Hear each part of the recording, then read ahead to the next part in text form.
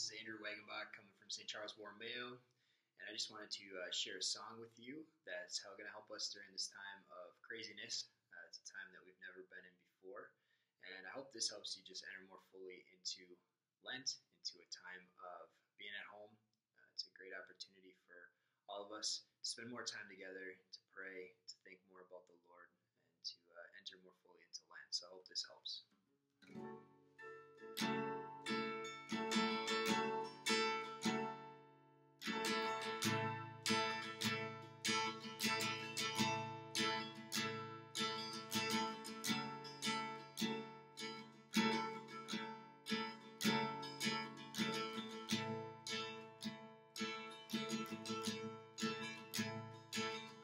These pieces broken and scattered, in mercy gathered, mended and whole, empty handed, but not forsaken.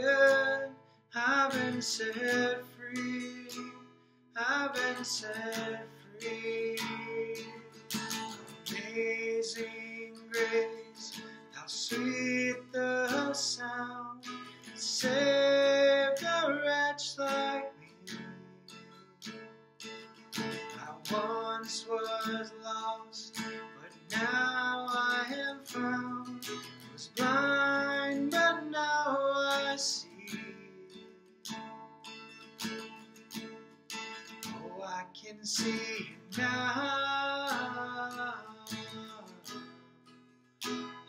Can see the love in your eye. Lay yourself down,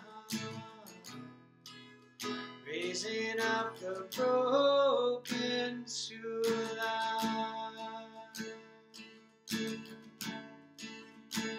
You take our failures, you take our weakness.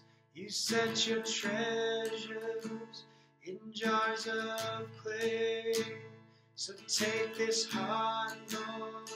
I'll be your vessel, the world to see your life in me. Amazing grace, how sweet the sound that saved a wretch like once was lost, but now I am found. Was blind, but now I see. Oh, I can see now.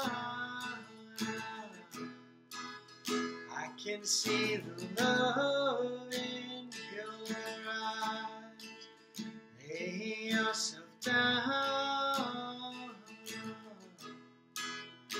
raising up the broken to life. Oh Lord, we just thank you so much for this day. We thank you for the life that we live. We thank you for family, for friends. We pray for those that are affected by the sickness, those that are impacted, those that will die today. We pray that we can be the truth, that we can bring life to those around us, and ultimately we can be a light in the darkness.